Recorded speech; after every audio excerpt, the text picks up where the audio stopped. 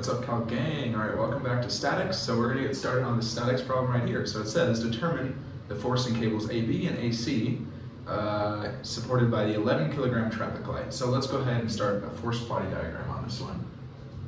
So yeah, here's a force body diagram. This is X, this is Y. And let's draw our forces, right? So we have AB, it's a tension force, and it's pulling in this direction. We're gonna label this force AB. We also have force AC, pulls the other direction. And we also have the force of gravity pulling down. Because this uh, traffic light has mass on it, so of course force gravity is going to be there. So what angle do we know? We know that this is 12 degrees. We know that this is a 7, 24, 25 triangle. So this is 7, 24, 25, and force of gravity. Okay, so we're at equilibrium, right? When we're at equilibrium, we can write two equations in two dimensions. If we're in three dimensions, we can write three. So our first one, uh, what are we gonna start with? Let me get my paper so So we're gonna start with sum of forces in the y direction, right? So let's write it out. Sum of forces in the y direction is equal to zero, right? We know that the amount of force pulling up is the same amount of force pulling down because it's not moving. There's no acceleration. So this is equal to, start with this, negative force gravity. Force gravity is pulling straight down in the y direction. So then, plus force AB, but then sine of 12 degrees. The sine of 12 degrees comes in because we're trying to find the vertical position. So because sine is opposite over hypotenuse, we're finding this right here. So force AB sine 12 is how much this distance, or how much this force is.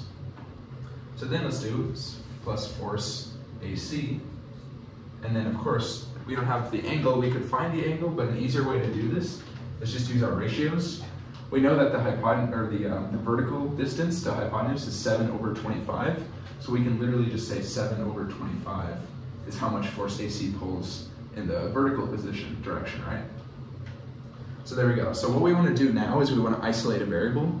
Right now it's not going to make sense why we're going to do that, but later on we're going to need to have one variable by itself just for the convenience factor.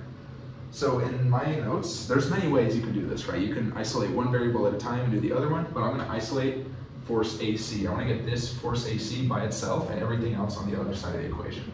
So let's do that. I'm going to move force gravity over, I'm going to move force AB over. So it's going to be force gravity, because it comes positive, minus force AB sine of 12 degrees is equal to force AC.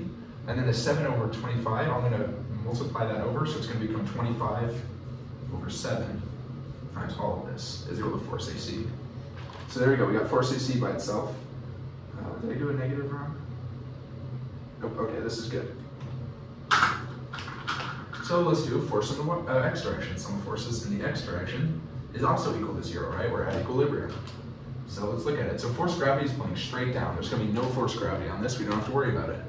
So force AC is negative, so it's gonna be negative force AC.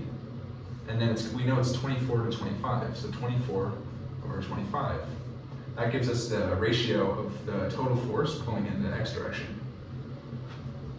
All right, we just had a visitor, but let's keep going. All right, force AB, right? It's gonna be plus force AB, it's pulling in the positive direction. Cosine of 12 this time. Nice, so this is our equilibrium equation. So we want to get, again, force AC by itself. That's going to make it a lot easier. So I'm going to subtract this over and they're going to be both become positive. So force AB cosine of 12 is equal to force AC. And then I'm going to multiply this 25 over 24 over. So it will become 25 over 24. That'll cancel out. So we have two things with force AC just by themselves.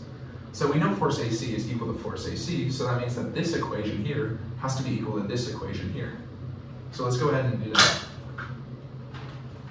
Sit down. So setting this equal to this, it's just going to be 25 over 7 force gravity minus force AB sine of 12 is equal to 25 over 24 force AB cosine 12. So now you'll notice here, the only unknown that we have is force AB. There's no force AC in this equation, which is great. We have force of gravity, but we can figure that out later. So now we want to get these force ABs together. So I'm going to distribute everything. 25 over 7. Oh, also these 25s are going to cancel. You notice that there's a 25 here and a 25 here, so we can essentially just cancel out the 25s. So it'll become 1 over 7 force gravity minus 1 over 7 force A, B sine of 12 is equal to 1 over 24 force A, B cosine of 12. So let's see how much I did in my notes here. Probably not that much. But uh, you're basically going to end up factoring everything out. Now, force gravity is what we have to consider. So when we know force of gravity is mass times acceleration, right? So we know that the mass of the, uh, the, uh, the stoplight is 11 times gravity 9.81. And then if we, if we move this to the other side and factor out force AB, we're to get uh, 1 over 7 sine of 12 uh, plus 1 over 24 cosine of 12. Then of course if we divide this over by that, we're going to get a number, so it'll just become force AB is equal to 219 newtons. So then we're gonna, I'm just gonna go ahead and erase this because don't really need it anymore. Now we just need to find what force AC is. So force AC, we already have two convenient equations to solve what force AC is, right? We wrote this equation, right? Just have to plug in what we know. And we also wrote this equation.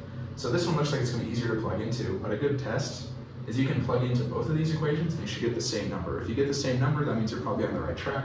If you get a different number, you probably got a wrong answer for this prod right here.